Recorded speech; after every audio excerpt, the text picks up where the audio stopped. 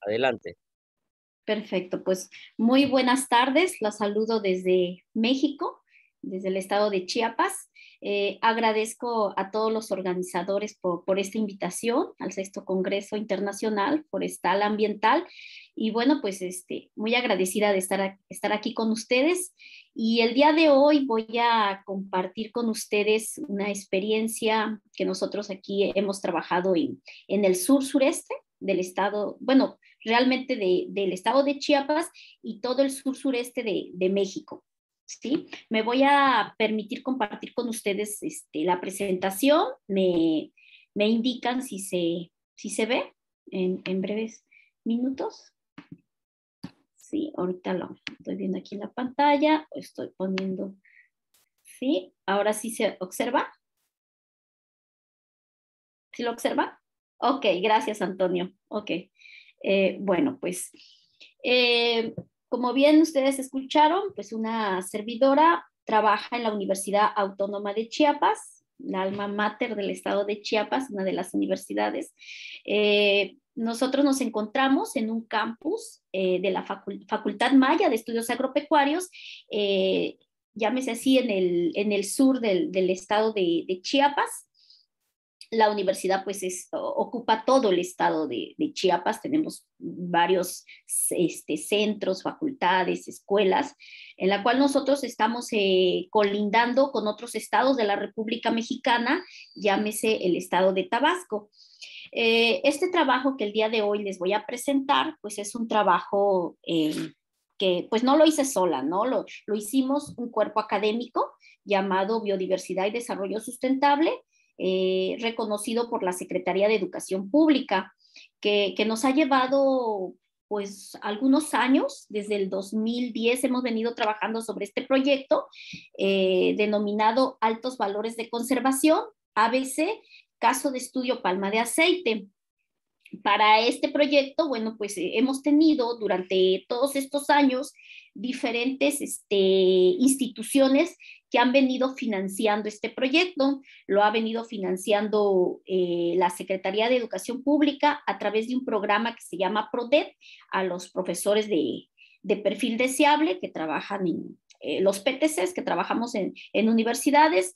También este proyecto ha sido financiado por la SAGARPA, la Secretaría de Agricultura, ¿sí? Hoy en día en México es la SADER, pero ha, bueno, pues se, ha venido financiando este proyecto con, con, diferentes instituciones. Igual la Fundación Produce Tabasco, otros estados igual nos han financiado este proyecto. ¿sí? Eh, bueno, pues ah, les presento, esta es eh, la facultad de la Facultad Maya de Estudios Agropecuarios de la Universidad Autónoma de Chiapas, ¿sí? Aquí nos encontramos, aquí ustedes pueden ver estos edificios, en la parte de, abajo se encuentran los laboratorios, el laboratorio de biotecnología, el laboratorio de cultivos de tejidos vegetales. Eh, para todos aquellos que nos están escuchando, bueno, pues algún día nos encantaría recibirlos en estancias académicas, tanto de profesores como de estudiantes. Nosotros en la, en la universidad tenemos una convocatoria eh, que sobre movilidad estudiantil, donde también recibimos este, estudiantes de, de todo el mundo, llámese así.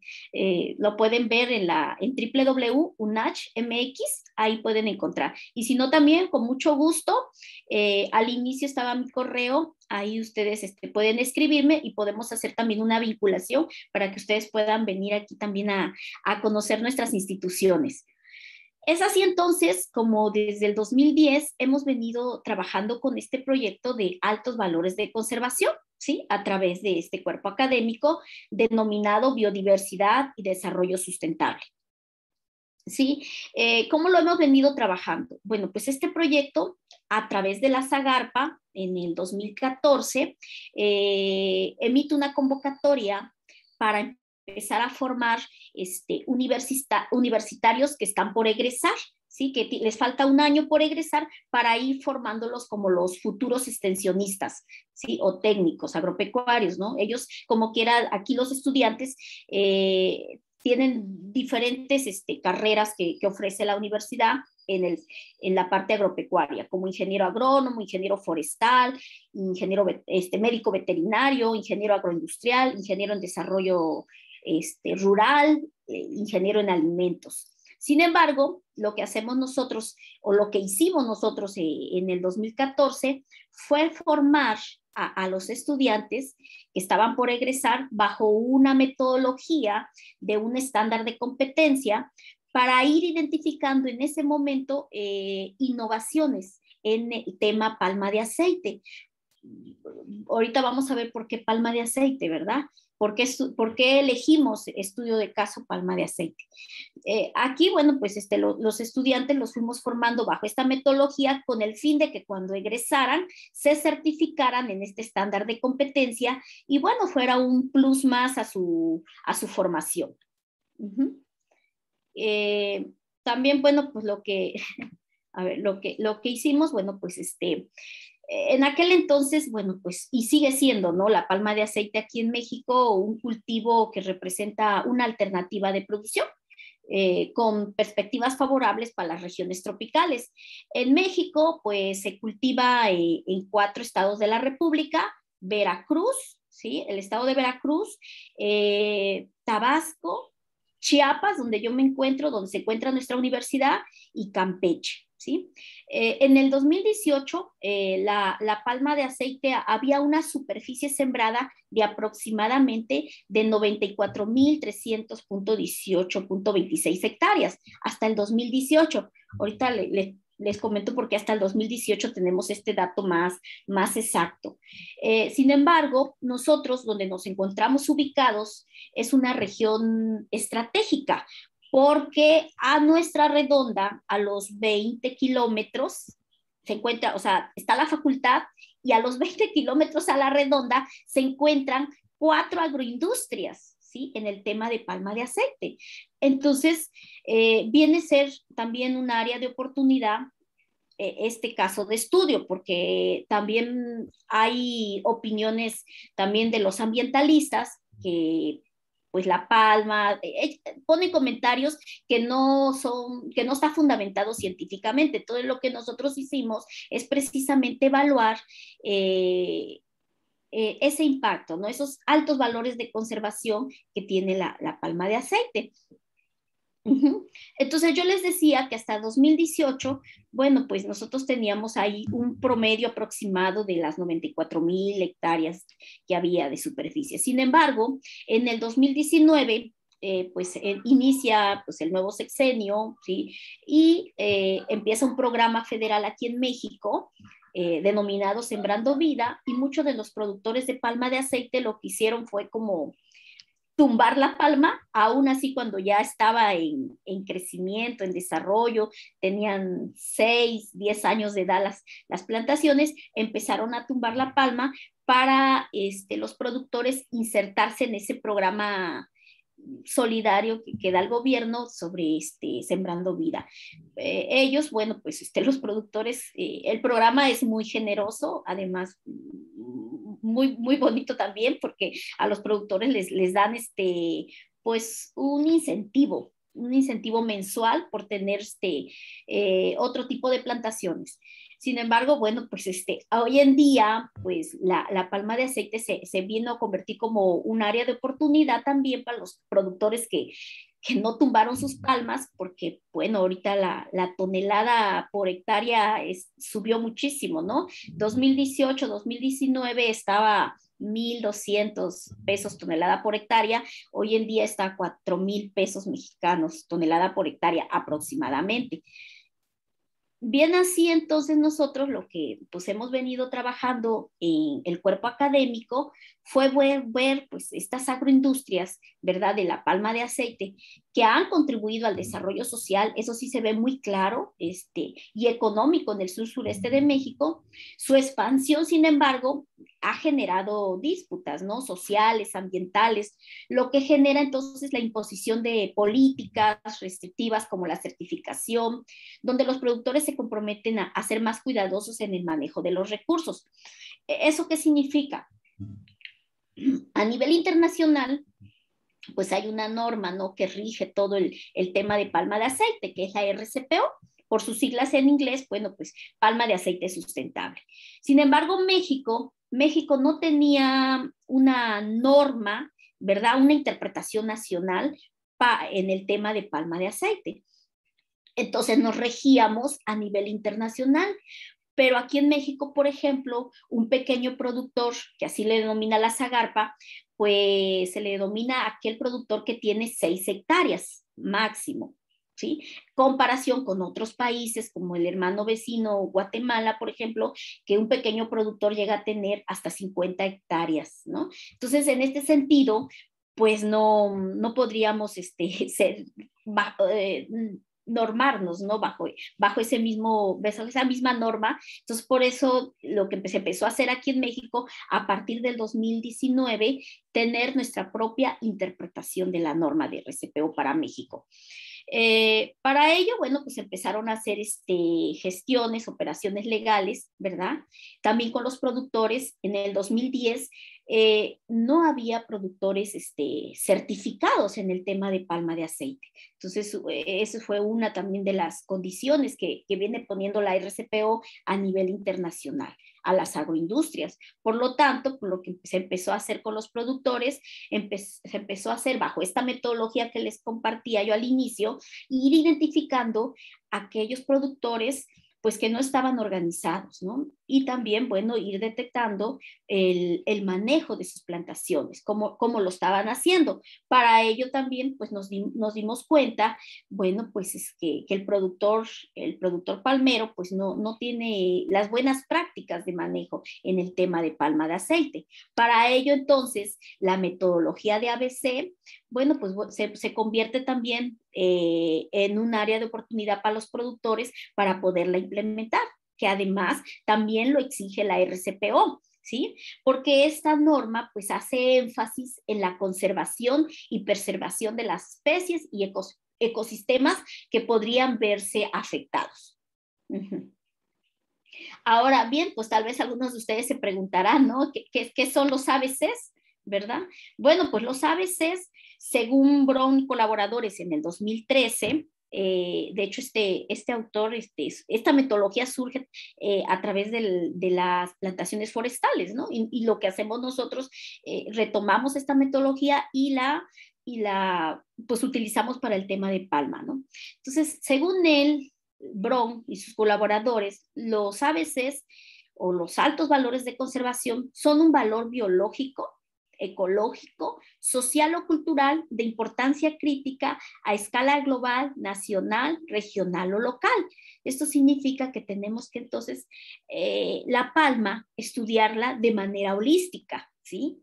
No como comúnmente estamos acostumbrados los agrónomos, ¿verdad? Entonces aquí, por eso es que vienen a interactuar varias disciplinas. Es por eso que ahí el cuerpo académico de, la universidad eh, retoma importancia, porque el cuerpo académico estamos este, conformados por diferentes disciplinas, tanto agronómica, económicas, están este, ahí los doctores eh, especialistas en el área de economía y también nos se encuentran pues, los, las doctoras especialistas en el tema de, de agroindustrias.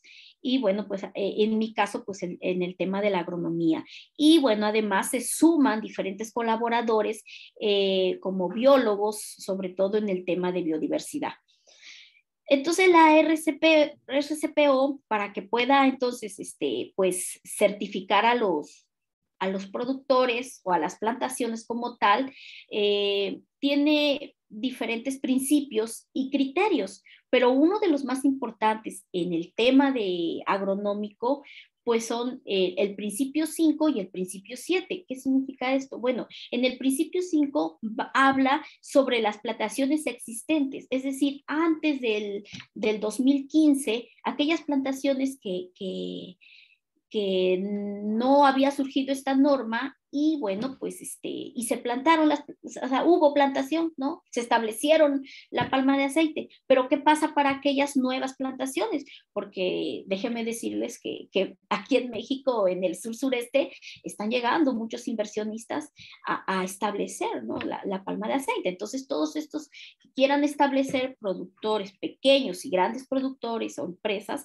tienen que regirse por la RCPO Para ello, entonces, nosotros en la academia, pues eh, realizamos esos estudios de ABC para garantizar la planificación responsable de las plantaciones. ¿Por qué no evaluaciones? La RCPO pide evaluaciones. En nuestro caso, nosotros hacemos los estudios porque este, no todos estamos este, certificados en, esta metodología para poder este, emitir un, juicio y decir que son evaluaciones ante la RCP, RCPO.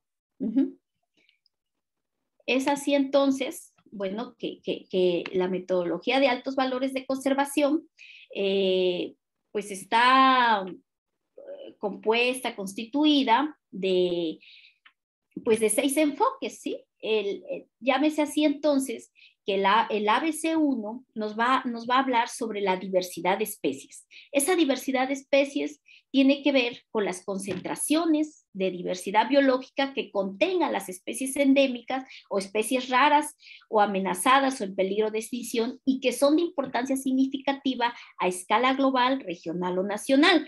Para este caso, entonces, eh, el grupo de la academia nos fuimos, fuimos este, trabajando de acuerdo a nuestra disciplina y estudiando estos ABCs. El ABC2, que son los ecosistemas y mosaicos a escala de paisaje, ¿sí? Estos, bueno, pues también son, tienen, son de importancia global, regional o nacional y que contiene poblaciones viables de la gran mayoría de las especies presentes de manera natural, bajo patrones naturales de distribución y abundancia. Es así entonces el ABC3 que, que, nos habla sobre los ecosistemas y hábitats, ABC4, que son los servicios ecosistémicos, que también son tan importantes en el tema de palma de aceite. Ahorita vamos a ver por qué son tan importantes eh, y sobre todo aquí en la región, que nosotros estamos en una región, eh, por la región Maya, ¿no? Con una alta biodiversidad de, de ecosistemas, de, diversidad de especies, de hábitats y sobre todo de esos servicios ecosistémicos que se encuentran a nuestro alrededor. Y cómo entonces el establecer plantaciones de palma de aceite es importante considerar estos ABC previamente antes de este, establecer las plantaciones. Y bueno, el ABC5 que nos va a hablar de las necesidades de las comunidades. Eh, como ustedes, este, algunos de ustedes tal vez sepan que, bueno, nosotros el estado de Chiapas, pues es un, es un lugar, este, pues, eh, llámese que las poblaciones, este, la primer lengua es lengua cho, lengua central, eh, todavía pues este, quedan, este, digamos, eh, la cultura maya, que es que la tenemos a nuestro alrededor, en las comunidades. Entonces, estas necesidades de las comunidades eh, que tiene que ver también con, con, esas necesidades básicas, ¿verdad? De esos grupos indígenas, es o su medio de vida, ¿verdad? La salud, la nutrición, el agua tan importante para, para estas comunidades viene a ser también un punto importante este estudio. Y bueno, pues este, aquí como tal estamos rodeados de, valores culturales, no solo este, bueno, no solo cuando hablamos de cultura, no, no solo estamos hablando de la parte arqueológica, ¿verdad? Si hablamos también de tradiciones, usos, costumbres, ¿no? Entonces, este ABC6 nos, va, nos va, se enfoca a este punto. Ahora bien, como les comentaba yo, pues eh, en sí en México eh, se carece de estudios de altos valores de conservación. Eh, en el 2000 hasta el 2019 no había interpretación nacional de la norma de RCPO para México, por lo cual también la, Universidad Autónoma de Chiapas fue un punto importante también para esta interpretación. Nosotros fuimos sede de la interpretación nacional también. ¿Sí? No había proveedores nacionales certificados, eso déjenme decirlos que hasta la fecha somos muy poquitos los que podríamos estar certificados en, algún estándar de, de, la RCPO. Todos los, los colegas este, vienen de otros países vecinos de Latinoamérica. Ajá. Entonces vienen a hacer los estudios, eh, bueno, más bien las evaluaciones de, estas normas. Y bueno, pues también que no hay una cultura de organización entre los productores y la mayoría, pues aquí en México posee entre 1 o 9 hectáreas y pues resulta costoso para ellos certificarse de manera individual. Para ello, pues este, se detecta ¿no? en aquel entonces que faltaba esas alianzas entre planta extractora y productores, o sea, que hubiera esa, vinculación directa eh, entre productores, ¿verdad? Entre las agroindustrias y, ¿por qué no?, la academia, que somos nosotros. Entonces, lo que empezamos a trabajar empezar a hacer estudios, ¿verdad? En, diferentes plantaciones, en diferentes comunidades, ejidos, sobre cómo se encontraba en este caso, por ejemplo, el ABC1, el ABC2, ¿sí? En cuestión de mamíferos, reptiles, terrestres, en, plantaciones de palma de aceite. Les voy a compartir una experiencia o dos experiencias que, tuvimos con, con el tema de estos estudios de ABC. Porque, bueno, aquí la, idiosincrasia de, hasta también de algunos colegas este, eh, ambientalistas o, colegas este, del área social, pues dicen que decían, decían, porque créanme que ahorita ya con todo esto de la promoción, de ver que no es así, este, que la palma, pues este, no, no se acercaban ni, ni, los mamíferos, ¿verdad? O sea, nada, o sea, ¿por qué? Porque era, tenían ese concepto de que era dañina, ¿no?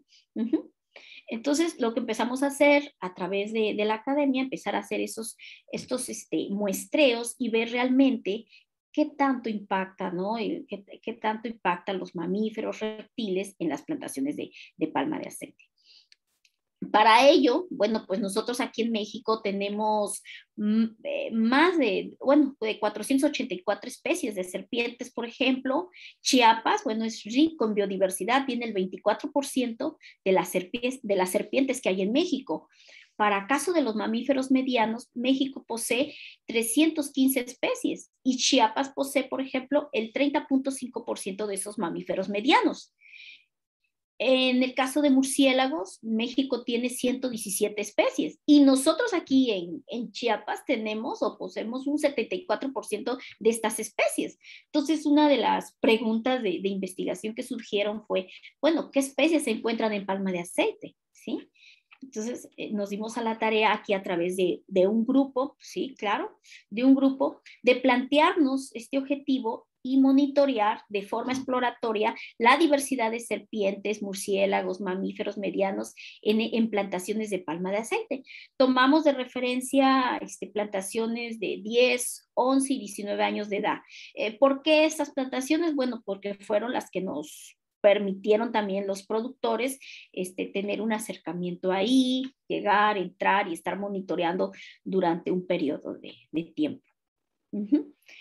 Dentro de los objetivos específicos de, este estudio fue también, este, como les decía, obtener la aproximación de la diversidad taxonómica de, serpientes, murciélagos y mamíferos, ¿sí? Eh, en un ejido que se encuentra a unos 20 kilómetros de la universidad, ¿sí? Y a unos 2 kilómetros de la agroindustria. También otro de los objetivos fue comparar esa diversidad de especies de serpientes, murciélagos y mamíferos en esas tres plantaciones de palma de aceite con diferentes este, edades, las plantaciones.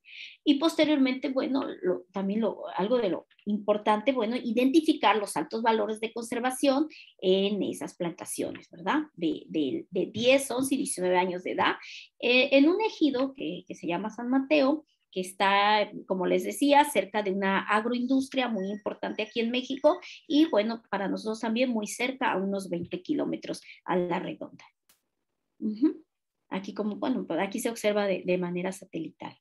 ¿sí? Lo que empezamos a, a trabajar, bueno, fueron este, hacer los recorridos, los transectos, los muestreos, el registro de, especies. Esto todo fue también con el apoyo de, biólogos, ¿verdad? Especialistas en estos temas de mamíferos medianos, serpientes y bueno, pues la formación de recursos humanos también, que son nuestros tesistas. Ellos este, se fueron aquí formando en, estas, en esta disciplina. Por lo cual se hacían pues, recorridos matutinos, recorridos nocturnos y se fueron también instala, hubo instalación ¿no? de, de, trampas, de, de, llámese así, de, redes de niebla y, y, se fue registrando pues los murciélagos, ¿no? Revisión de las redes constantemente durante un periodo ya durante un periodo, cuando yo hablo de periodos, bueno, aquí, bueno, comúnmente tenemos este, el periodo, ¿no? De, de lluvia y el periodo de, sequía, ¿no? Entonces, en esos periodos se fueron haciendo esos monitoreos. ¿Qué obtuvimos? Bueno, pues obtuvimos en relación a la, a la riqueza de especies encontradas, ¿sí? Eh, son las reportadas para el estado de Chiapas, que se tiene representado el 2.5% del total de especies a nivel nacional y el 8% de las especies registradas en Chiapas. En cuanto a las serpientes, se registra el 1.3% del total de especies a nivel nacional y el 4.7% de especies a nivel estatal. ¿sí? Eh, déjenme comentarles que, bueno, que de, todos estos este, resultados, hoy en día eh, estamos por, el cuerpo académico está por publicar su, su libro de, de altos valores de conservación que hemos encontrado en todo esto. Esto para las personas que vienen de otros países a hacer evaluaciones a las plantaciones aquí en el sureste viene siendo como un elemento importante, ¿no? Porque aquí ya tienen datos, datos estadísticos de lo que se encuentra en esta región. Aquí, bueno, pues eh, en, este cuadro lo, que podemos observar son las, este, diferentes este, especies que se encontraron de serpientes, ¿verdad? Y podemos ver que, bueno, pues hay una, abundancia total, ¿no? En el caso de, las plantaciones este, que tienen mayor edad, ¿verdad? Eh, hay hasta un 46%. En caso de murciélagos, lo mismo. Podemos observar que hay, hay, hay mayor este, biodiversidad en, plantaciones con, mayor edad. Y pues aquí vemos un cuadro comparativo de las plantaciones y de aproximación a la biodiversidad, igual, de la misma manera, aquí, aquí podemos este, ver esa riqueza ¿no? que, que, encontramos, 22 especies, ¿sí? Y una abundancia del 84%. Y bueno, pues sí hubo este, en el caso de la identificación de los ABC1, sí se, mantiene presente, ¿verdad? Algunos son potenciales y algunos pues son ausentes en cuestión de, murciélagos, mamíferos, serpientes, ¿no? Y algunas pues sí se encuentran dentro de la norma. Aquí, bueno, pues eh, son las especies precisamente registradas que, se, se, veían en los cuadros, ahora pues aquí este, de manera fotográficas se pueden, se pueden ver las diferentes especies de murciélagos que se encontraron. Eh, presentamos algunas también aquí, que próximamente también vamos a tener un, catálogo, sobre todo para los eh, productores, ¿sí? que ellos puedan este, observar, ver, porque bueno, más adelante vamos a ver que hay especies que, que, son endémicas, por ejemplo, y los productores eh, las consumen, ¿no? Ok. Y bueno, pues en cuestión de serpientes también podemos ver las especies que, reportan las tablas, ¿sí? Como boa constructor, que es una especie también muy importante dentro de la norma, ¿sí? Y bueno, entre otras especies registradas, ¿a qué me refiero? Bueno, cuando nosotros hacemos esos monitoreos en las plantaciones, pues este, tanto los biólogos ahí van viendo toda esa parte de mamíferos, reptiles, bueno, también nosotros vamos viendo otras especies que también son importantes, como cuáles, bueno, encontramos esta especie también muy importante, eh, Clavulinoxis corniculata, es un, es, pues prácticamente un vacío miseto, pero pues una, es una especie sin valor comercial, pero algo bien importante, no estaba registrada para el estado de Chiapas, ¿verdad? ¿Sí? ni para México. Entonces, este, lo que hicimos fue pues, hacer ese, reportar esta especie que encontramos y bueno, este, de hecho hasta se, se logró este, publicar esta, esta especie, ¿no? Aquí la pueden ver, este artículo donde se logró publicar. Eh, en los resultados anteriores, bueno, pues se está por publicar el libro y unos artículos también relacionados a este tema. Entonces, como podemos observar, eh, en cuestión de concentración de biodiversidad, que incluye esas especies endémicas, ¿verdad? Raras, amenazadas o en peligro, que son significativamente globales o regionales o nacionales, bueno, pues este, se, mantuvo presente, ¿ve? ¿Sí? También lo que se, hizo, es bueno trabajar también con, con informantes claves, ¿sí? de, ahí, de la región, de las comunidades vecinas, a, este, muy cercanas a las plantaciones y con los mismos este, jornaleros que trabajan en las plantaciones de palma de aceite, se, estuvo entrevistando a, los jornaleros, a los productores, para ver si, ellos este, eh, reconocían algunas especies, ¿no? Nosotros, claro, a través de catálogos o a través de preguntas o talleres que nos decían cuáles habían visto. Eh, en el tema de ABC2, también, bueno, pues este potencial, ¿verdad? Este, este ABC en, ecosistemas y mosaicos, escala de paisaje, e importantes también a escala global, regional o nacional, que contengan poblaciones viables de la gran mayoría de especies con patrones naturales de distribución y abundancia. Aquí nosotros, bueno, pues este, como les decía, pues este, estamos en la sierra, como tal, ¿verdad? Entonces, eh, la sierra pues forma parte de un área de serranía que funciona como corredor biológico también. Adicional a los avistamientos que fueron reportados por trabajadores y personas de poblados cercanos, indican que existen, que existen pues concentraciones considerables de especies. Igual nosotros en nuestros recorridos que hicimos en las comunidades, pues podíamos observar en, las casas, ¿sí? donde este, hacíamos a veces algunas entrevistas, que este, las personas luego este, sus paredes las tenían este, decoradas con algunas pieles, ¿no? De especies en peligro de extinción. Entonces ahí mismo también tú te podías dar cuenta qué especies hay ahí en la región. E, en el ABC3, en ecosistemas, hábitats o refugios raros amenazados o en peligro, también lo consideramos potencial debido a, distintas presiones, especialmente por poblaciones aledañas, que como les decía, que indican cazar. Eh, de hecho, en alguna comunidad cercana a las plantaciones, este, uno llega y, tú ves este, los animales que tienen, los, los, de la especie canina, pues son este, esos, esos animales que son para cazar, ¿no? Entonces ahí te das cuenta, ¿no? Esa evidencia, ¿no? También la evidencia de la tala durante la visita, el sonido de motosierras, te, das cuenta también esa parte importante. Entonces puede inferirse que el ecosistema de la serranía se encuentra amenazado en peligro, sin embargo no es un ecosistema considerado como raro hasta este momento. Eh, referente a la ABC4, los servicios ecosistémicos básicos en situaciones críticas, áreas de captación de agua y control de erosión, pues aquí nosotros este, lo consideramos potencial porque, bueno, nosotros aquí donde nos encontramos, este, primero pues se encuentra una, una laguna importante, que es la laguna de Catazajá, ¿sí? Que de hecho ahí se encuentra el santuario del manatí, que es muy importante, y esa laguna, a su alrededor se encuentran las plantaciones, ¿sí? Entonces, pues, eh, y la captación de agua, pues, este, de los productores, también, este, ya sea viene de lagunas, viene de la serranía, y sobre todo, bueno, pues, este, eh, es ese consumo que tiene en, las comunidades.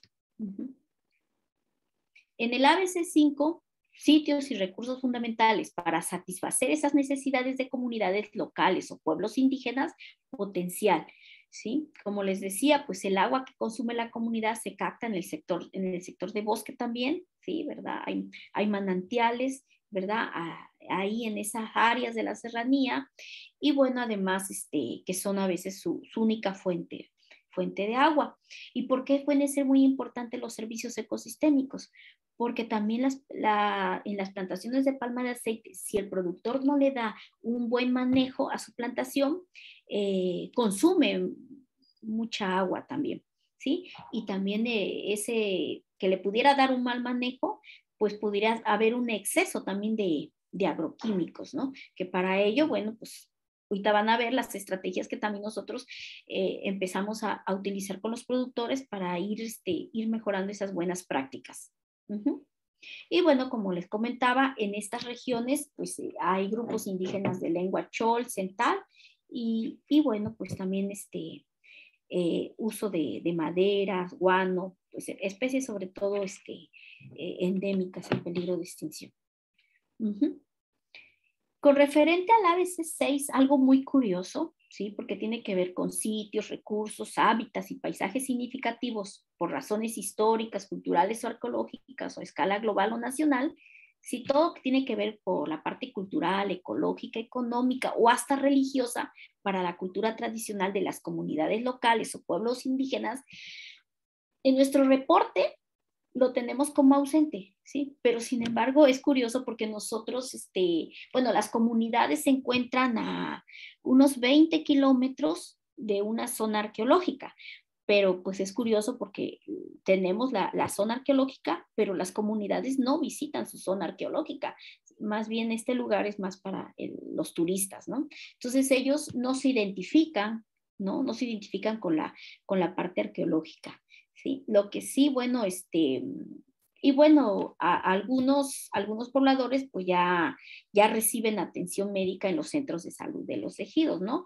Pero sin embargo, en, la parte más, más interna de la, de la selva, este, pues está los lacandones, que ellos sí trabajan con, con curanderos, con chamanes, pero pues eh, esa parte es muy restrictiva y, y casi no, no permiten este, entrar. ¿Sí? No permiten entrar para hacer esas entrevistas, ¿no?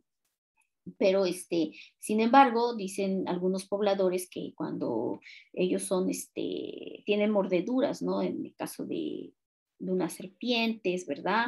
O, tienen que tratarse de algún mal o cuestiones así, ellos algunas veces sí, recurren a, ciertas especies de ahí de la región. Pero bueno, pero no se consideran como recursos críticos. Bueno, hasta aquí, bueno, fue, fue esa, esa parte, esa experiencia que les acabo de, comentar, todo ese, todo ese, esa región, llámese eh, región o ejido de San Mateo, que se encuentra, les digo, a, 20 kilómetros de, de, la facultad, a dos kilómetros de, una agroindustria, pero como yo les decía al principio, nosotros en la facultad tenemos a nuestra redonda como cuatro agroindustrias de diferentes países, de México, de Guatemala, de Costa Rica y bueno, son tres países. Este, y bueno, tenemos también otras de suma importancia, que es las plantaciones que se encuentran en la laguna. Y ese lugar, ese pueblito tan pequeño, ese se le llama el Cuyo, Álvaro Obregón. Y ahí para nosotros también es de suma importancia en el tema de los servicios ecosistémicos, porque la, la comunidad elegido ¿sí? Eh, pues el 40% ¿no? de, sus actividades económicas pues dependen de la pesca, de la ganadería y el 30% de agricultura, pero lo que destaca, destaca ahí es el cultivo de la palma de aceite. Sin embargo, el cultivo no es de los productores, de los pequeños productores, sino todo el cultivo que se encuentra ahí en esa región es de la agroindustria, ¿sí? Entonces, eh, eh, entonces nosotros también nos dimos a la tarea de ver cómo puede impactar esas plantaciones en esa laguna tan preciosa alrededor y en ese lugar donde los servicios ecosistémicos eh, son importantes. De manera muy general, les voy a compartir, no sé cómo andamos de tiempo. Ah, creo que estamos bien, ¿verdad? ok. Eh, bueno, pues ahí lo que nosotros podemos observar un ABC4 presente, ¿verdad? Porque tenemos el sistema lagunar, como les decía, aquí, aquí se ve, aquí se observa, eh, una lástima que no les puedo compartir otra fotografía más. Precisamente hoy en la mañana este, me fui a toda la mañana a, dar este recorrido en esta laguna con mis estudiantes porque están ellos este, aprendiendo esta metodología y fuimos a ver toda esa parte de, biodiversidad porque algo también curioso que, que, representa esta laguna, que nosotros somos refugio de especies este, migratorias, ¿sí? solo en enero, febrero, marzo, ¿sí? Llegan unas especies migratorias de aves a, esta laguna que vienen desde Canadá y entonces para nosotros este, ir estos meses a ver estas especies es, es algo también muy bonito. Eh, bueno, pues entonces en esta laguna o en esta, en esta región donde se encuentran también las plantaciones de palma de aceite, consideramos que los servicios ecosistémicos, el ABC4, pues eh, es de vital importancia, ¿no? ¿Por qué? Porque pues está presente ¿Por qué? Porque nos interesa sobre todo la calidad y cantidad de agua ¿no? que, que, están recibiendo los productores. Sin embargo, aquí de verdad este, puedo decir que aquí necesitamos este, investigadores, especialistas que se suman a esta, a esta investigación, porque nosotros dentro del cuerpo académico, bueno, nos falta ese, tal vez también ese especialista microbiológica, ¿no? Que, que solo estudia el tema del agua, ¿verdad? Todo tema de agua es importante. ¿sí? Esa calidad de agua que están recibiendo los productores, ¿sí? Eh, el tema también de, del control de la erosión, ¿verdad? Eh, el tema también de, de, de, la regulación de inundaciones y sequías que hay ahí, lo, bueno, y sobre todo los alimentos, ¿no? Que los productores, bueno, pues se dedican a la pesca, ¿sí? Entonces, el, consumo, ¿verdad? Pues el producto como tal, necesitamos saber cómo se encuentra. Bueno, pues el ABC5 igual, presente, especies amenazadas como el manatí, la laguna de Catazajá, que, que, no le digo que nosotros estamos, de hecho de la laguna, nuestra facultad se encuentra a cuatro kilómetros. Por eso le digo que yo puedo llegar en la mañana, tomo la lanchita y me voy a dar mi recorrido. Entonces, eh, esta especie que es el manatí, pues es, de hecho hay un santuario ahí, pero es una especie que también puede estar en peligro, ¿verdad? No sabemos cómo está la calidad de agua.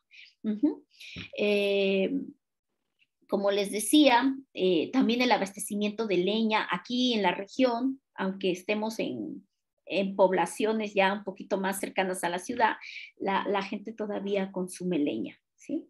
Tiene ese abastecimiento de leña, tiene sus fogones, ¿va? El, en el tema de abastecimiento de alimentos, como yo les decía, pues el tema de la pesca, y recursos fundamentales para satisfacer precisamente esas necesidades básicas. Y bueno, pues como, como conclusión podemos, podemos comentar que pues los métodos que, de monitoreo aplicados aquí en este estudio pues nos permitieron avistar con un total de 22 especies en la plantación de 19 años de edad, se percibieron 16 especies, incluyendo mamíferos medianos, murciélagos y serpientes, con 31 individuos avistados. ¿Sí? Y en las plantaciones, por ejemplo, de 10 a 11 años, se, encuentra la especie boa constructor, especie en la categoría protegido, en la norma 059. ¿sí? En plantaciones de 19 años de edad existe mayor número de especies sujetas a categorías de riesgo, tales como aloaptapigra, ¿sí? de hecho, el, el, mono zaraguato, los zaraguatos son muy comunes aquí. Nosotros eh, amanecemos este, con, con, la música de los zaraguatos. La música porque son unos aullidos eh, inigualables. Eh, bueno, aquí lo que empezamos a hacer es como esas recomendaciones de gestión, ¿sí? Este ya es otro proyecto que empezamos a trabajar sobre eh, eh, esas recomendaciones de gestión, sobre la forma de mitigar esos impactos negativos en los medios de vida de la población, sobre todo en el ABC5, que lo, que lo veíamos ahí como una amenaza porque se encuentra presente, pues viene siendo una amenaza, ¿no? Entonces, esa implementación de prácticas de casa en la parcela escolar, áreas de conservación de la localidad, entonces hemos empezado a trabajar en las comunidades, ¿sí? Las recomendaciones de manejo, ¿verdad? La política de no caza, señalizaciones informativas, pasos de fauna, eh, programas participativos de control y vigilancia sobre la cacería, tala ilegal de especies nativas, eh, para disminuir precisamente la presión de esta actividad en el área de conservación de la localidad. Y bueno, pues esas recomendaciones, ¿verdad? Que se debe instalar un programa bianual de monitoreo de flora y fauna, considerando épocas de invierno y verano, monitoreos de individuos y poblaciones, pues esto pues, se hace, ¿no? Pero pues a través de la academia. Eh, ¿qué se esperaba? ¿no? En aquel entonces que empezamos a trabajar, ¿sí? 2014, 2018, 2019, lo que hemos venido esperando es tener paquetes tecnológicos de las buenas prácticas en palma de aceite sustentable. En el 2018 nosotros establecimos parcelas demostrativas, ¿sí? A través de financiamiento igual de la Zagarpa, para ir viendo precisamente esas buenas prácticas con los productores. Desarrollo de, las capacidades para la certificación en RCPO de las plantaciones, pues al menos los, este, los integrantes del cuerpo académico hemos este, tomado estos cursos de certificación, ¿sí? Impulsar también la economía familiar y comunitaria mediante la gestión de proyectos de ABC, que es lo que hemos venido trabajando hasta la fecha. Y bueno, este, eh, cuando hablamos del desarrollo de capacidades, eh, esto todo a través de la SAGARPA, la Fundación Produce, siempre nos han venido este, financiando este, diplomados en este tema de palma de aceite. Eh, precisamente para ir formando a los técnicos, productores, líderes de agroindustrias, este, docentes, estudiantes a nivel sur-sureste. Estas capacitaciones se dieron para los cuatro estados de la República Mexicana, ¿sí? Eh, tomando como punto pues este, actores clave para, para ser capacitados y que estos a su vez se formen una red ¿no? para, para este, ir este, compartiendo el conocimiento. Giras internacionales que hemos hecho a través de este, bueno, junto con productores líderes del sur-sureste, con representantes institucionales de, diferentes sectores gubernamentales, nos ha permitido ir a otros países como Colombia, por ejemplo, y ver cómo lo que están haciendo ellos con el tema de, de RCPO, con el tema de ABC en palma de aceite. Eh, la academia, bueno, pues este, a través de todos estos años de experiencia, de estos diplomados que se han implementado, pues este, ha también publicado libros electrónicos en el cultivo de palma de aceite, toda esa experiencia de los productores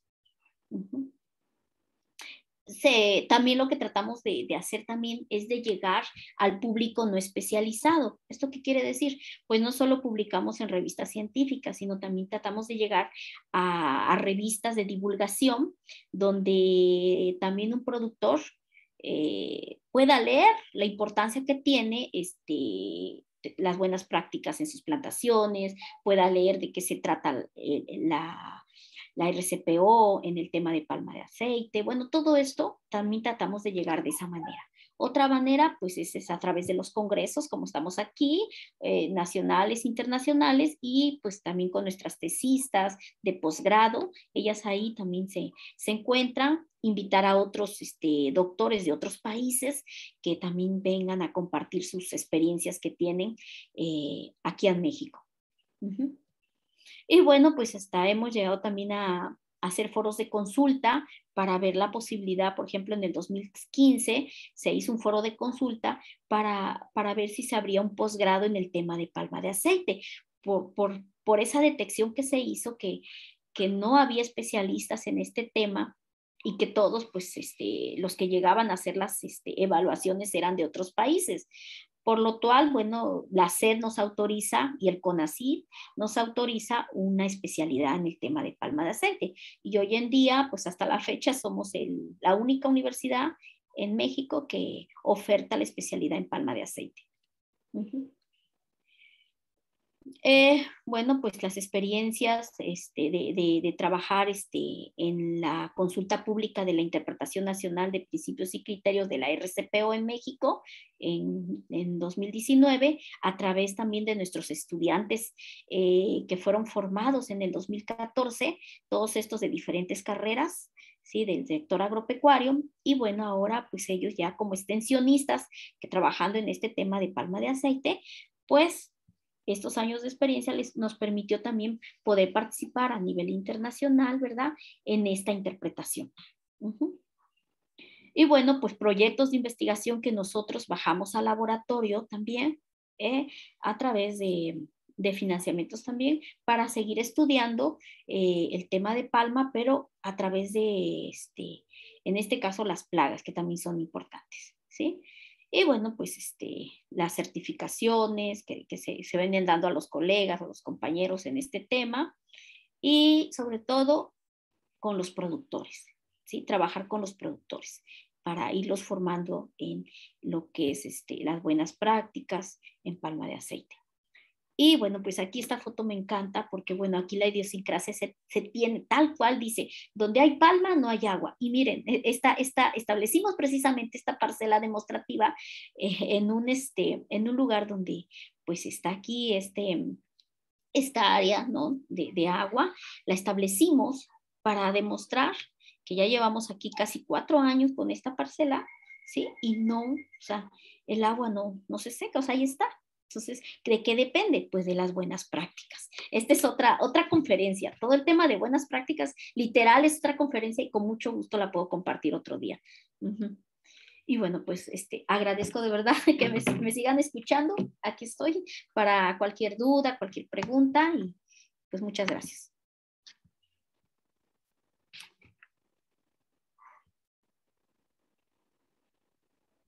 ¿Sí? ¿Me siguen escuchando? No sé si